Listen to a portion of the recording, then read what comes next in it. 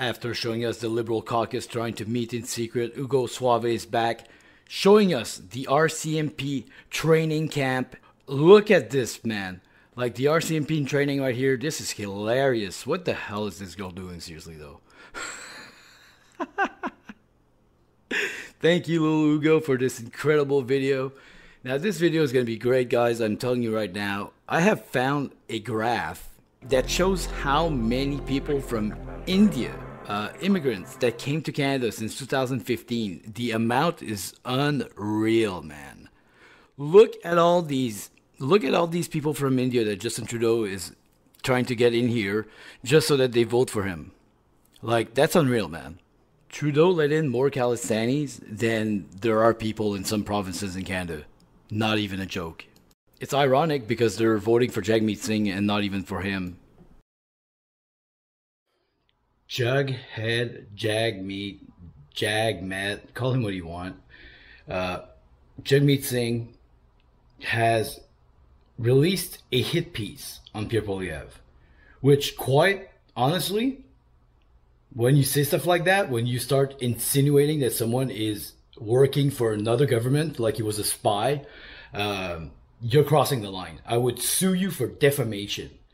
The damage that he did to Pierre Poilievre with this fake story cannot be taken back, man. Like, it's gonna be there forever. People will remember this video of Jagmeet Singh exposing Pierre Poilievre with a fake story.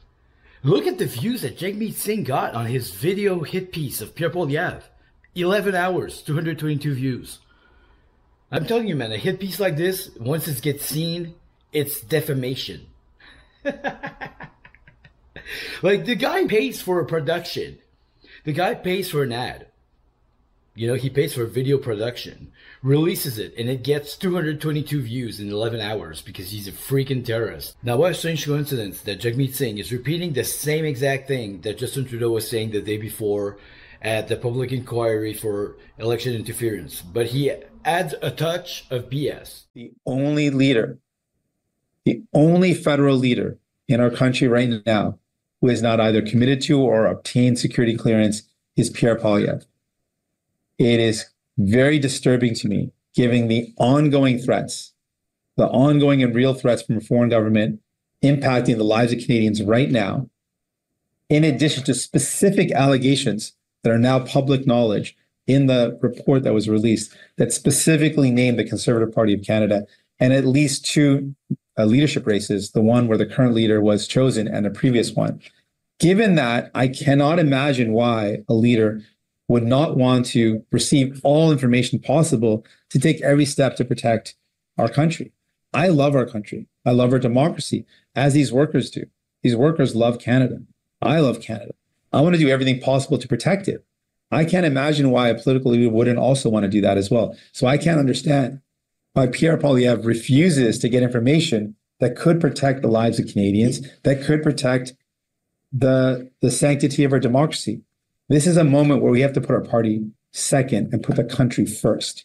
It is a country first approach. And the only reason I think Pierre Poilievre is reluctant to take the information or get the information necessary is because he wants to protect his party above the country. And that is absolutely. If you look at all the posts from MPs on X, Jagmeet Singh is the one that has the most community notes where he gets fact checked for lying. He has the record. Imagine getting fact checked every time you talk or make a post. But anyways, so that liar, by the way, was seen back in the past. Like if you want to say someone's a traitor to your country, well, I want to refresh your memory, guys, because Jagmeet Singh was hanging around with Khalistani terrorists. They're considered terrorists in India, and here, and here Justin Trudeau likes to call them Canadian voters these ideas. They're very, I like to say, they're gangster ideas, right? They're, they're, they were ultimate revolutionaries. It is about Sikh spaces and Sikh institutions.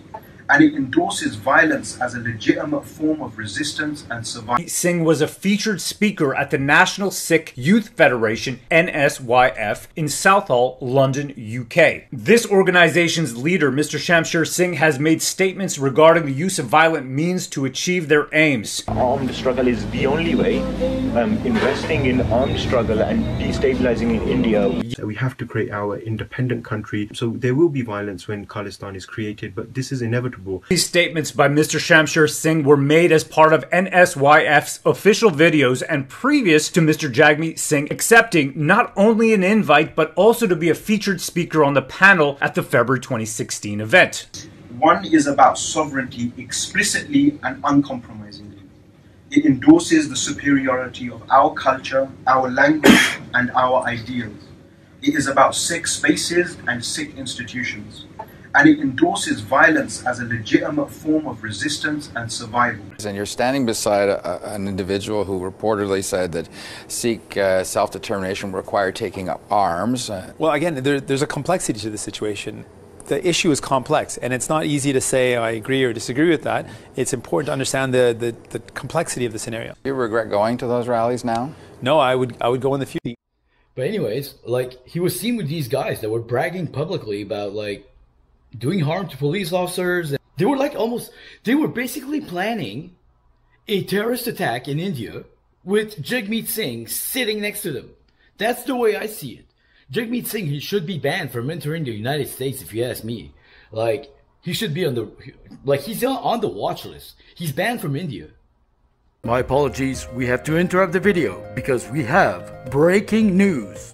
Did you know Jagmeet Singh is banned in India because he's considered a Khalistani uh, supporter? of the Sikhs don't share the same views as these guys, so it's not the same thing. So don't consider anyone to be a Khalistani because he's a Sikh. Now, Jagmeet here, though, is not a Khalistani. And he's there supporting their cause. Like, for votes.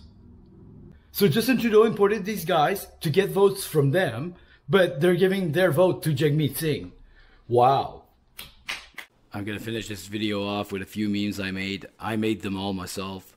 Pierre is the only MP to bench press a moose, and look how jacked he is on this one. This is kind of a meme uh, here of uh, relating to Donald Trump when he got shot. What Biden said, it's time to put uh, Donald Trump in the bullseye. Well, Pierre's putting the carbon tax in the bullseye. What's more Canadian than a Canadian MP riding a moose, bro? And here we see Justin Trudeau waving at his fans made of uh, his fans made out of cardboard.